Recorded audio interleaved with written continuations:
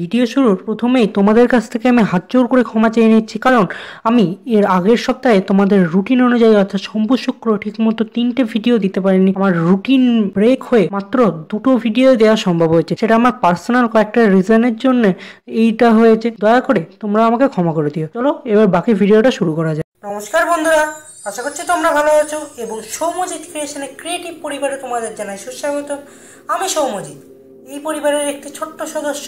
তো দেরি কিসে শুরু করা যাক আজকের মূল আলোচনা পর্ব? তো এই ভিডিওতে আমি তোমাদের সঙ্গে আলোচনা করব, মাধ্যমিক দু হাজার একুশ সালে যারা দিচ্ছ, তাদের জন্য যে ইতিহাসের আট নম্বরের কোশ্চিন আছে, তার কয়েকটা গুরুত্বপূর্ণ কোশ্চিন সম্বন্ধে। তো চলো ভিডিওটা স্টার্ট করা যাক। প্রথমেই বলে দিই, এই ভিডিওতে আমি মোট সতেরোটা কোশ্চিন দেবো। আর এর আগের ভিডিওতে আমি তোমাদেরকে মানে এর যে পার্ট ওয়ান ছিল, যেটা প্রথম অধ্যায় থেকে তৃতীয় অধ্যায় ছিল, সেখানে মোট আটটি প্রশ্ন দিয়েছিলাম। অর্থাৎ মোট পঁচিশটা প্রশ্ন দিয়েছি। এই পঁচিশটা প্রশ্ন যদি তোমরা না করো তাহলে আমার বিশ্বাস তোমরা পরীক্ষার গাড়ে গিয়ে বিভ্রান্তিতে পড়বেই পড়বে। তো চলো প্রথম কোশ্চেনের দিকে এগানো যায় প্রথম কোশ্চেন প্রথম কোশ্চেন হচ্ছে সংঘবদ্ধতার গোড়ার কথা থেকে, অর্থাৎ চার নম্বর অধ্যায় থেকে। এবার তোমরা আমাকে অনেকেই জিজ্ঞেস করবে যে, বাকি যে প্রথম তিনটি অধ্যায়, সেগুলি কোথায় গেল? সেগুলির জন্য আমি আলাদা ডেডিকেটেড একটা ভিডিও বানিয়ে রেখেছি। যদি তোমরা ভিডিওটা না দেখে থাকো ডিসক্রিপশনে আমি লিঙ্ক দিয়ে দেবো এবং তোমাদের ভিডিও শেষে আমি সেই ভিডিওটার লিঙ্ক দিয়ে দেবো। তো চলো ভিডিওটা শুরু করা যাক। প্রথম কোশ্চেন আঠেরোশো সাতান্ন খ্রিস্টাব্দে মহাবিদ্রোহকে ভারতের প্রথম স্বাধীনতা সংগ্রাম বলা যায় কি? সপক্ষে ও বিপক্ষে যুক্তি দাও। যথেষ্ট ইম্পর্টেন্ট কোশ্চেন আছে। তারপরে, দ্বিতীয় কোশ্চেন লেখায় ও রেখায় ভারতীয় জাতীয়তাবাদ কীভাবে বিকশিত হয়েছিল তা আলোচনা করো।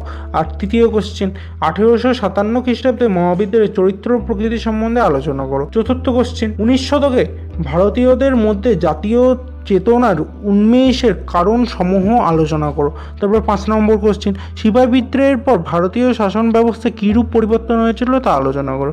এর মধ্যে আমি প্রথমে যে কোশ্চেনটা দিলাম, অর্থাৎ আঠেরোশো সাতান্ন খ্রিস্টাব্দে মহাবিদ্রোহকে ভারতের প্রথম স্বাধীনতা সংগ্রাম বলা যায় কি সপক্ষ বিপক্ষে যুক্তিত এটা ইম্পর্টেন্ট আছে। তারপরে লেখায় ও রেখায় ভারতীয় জাতীয়তাবাদ কীভাবে বিকশিত হয়েছিল তা আলোচনা করে, যেটা দ্বিতীয় কোশ্চেন ছিল, সেটাও ভীষণ ইম্পর্টেন্ট আছে।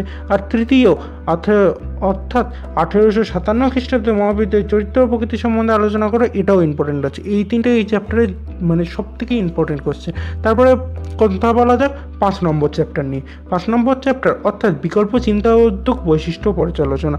এখান থেকে তোমাদের দু হাজার কুড়ি সালের প্রশ্ন এসেছে, তাই এবছর এটি বেশি গুরুত্বপূর্ণ না। তাই এখান থেকে মাত্র একটি কোশ্চেন দেওয়া আছে। সেটি হচ্ছে, উনিশ শতকে বাংলার বিজ্ঞান ও কারিগরি শিক্ষার বিকাশে গুরুত্বপূর্ণ প্রতিষ্ঠানগুলি সম্পর্কে আলোচনা করো।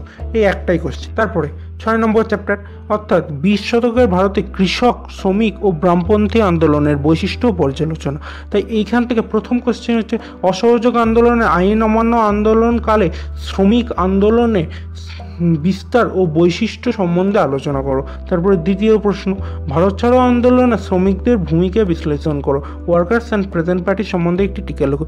এই যে ছয় নম্বর চ্যাপ্টারটা আছে, তোমাদের পঞ্চম অধ্যায়টা যেমন গুরুত্বপূর্ণ নয়, কিন্তু ষষ্ঠ অধ্যায়টা গুরুত্বের নিরিখে যথেষ্ট এগিয়ে আছে তাই এইখান থেকে তোমাদের একটু বেশি কোশ্চেন করতে হতে পারে। অন্যগুলোতে যেমন তিন থেকে চার অথবা পাঁচটা করে কোশ্চেন দিচ্ছিলাম, এখানে তোমাদের সাতটা কোশ্চেন করতে হবে। এবং আশা করব এই সাতটা কোশ্চেন যদি তোমরা করো, তাহলে এখান থেকে তোমরা কমান পাবেই পাবে।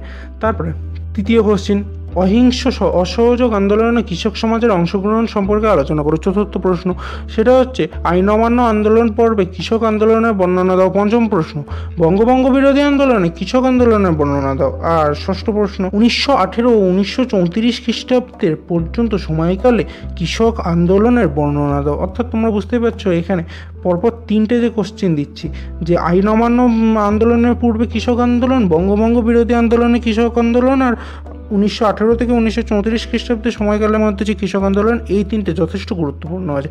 তারপরে সপ্তম কোশ্চেন সেটা হচ্ছে বিশ শতকের ভারতে ঔপনিবেশিক বিরোধী আন্দোলনে বামপন্থীদের ভূমিকা আলোচনা করো, এটাও মোটামুটি একটা ইম্পর্টেন্ট আছে। তারপরে তোমাদের হচ্ছে সপ্তম অধ্যায় সপ্তম অধ্যায় হচ্ছে বিশ শতকে ভারতের নারী, ছাত্র ও প্রান্তিক জনগোষ্ঠী আন্দোলন। এইখান থেকে তোমাদের যেটা সবথেকে গুরুত্বপূর্ণ কোশ্চেন সেটা হচ্ছে সশস্ত্র বিপ্লবী আন্দোলনে ছাত্র সমাজের ভূমিকা আলোচনা করো। এছাড়াও গুরুত্বের নিরিখে এগিয়ে থাকা অনেক কোশ্চেনের পরে বলব। তো চলো ভিডিওটা সেই সবটি দেখতে থাকো। সেটা হচ্ছে দ্বিতীয় কোশ্চেন নারী বিপ্লব বিপ্লববাদী প্রীতিলতা কল্পনা দত্তের ভূমিকা আলোচনা করো। তারপর চতুর্থ কোশ্চেন বঙ্গবঙ্গ বিরোধী আন্দোলনে নারী সমাজ কীভাবে অংশগ্রহণ করেছিল তাদের সীমাবদ্ধতা কোথায় ছিল তা আলোচনা করো। তারপর পঞ্চম কোশ্চেন সশস্ত্র বিপ্লবী আন্দোলনে নারীদের ভূমিকা বিশ্লেষণ করো। এর মধ্যে যেটা তোমাদের আগেই বলছিলাম যে, যেটা প্রথম কোশ্চেন দিয়েছি, সশস্ত্র বিপ্লবী আন্দোলনে ছাত্র সমাজের ভূমিকা আলোচনা করো।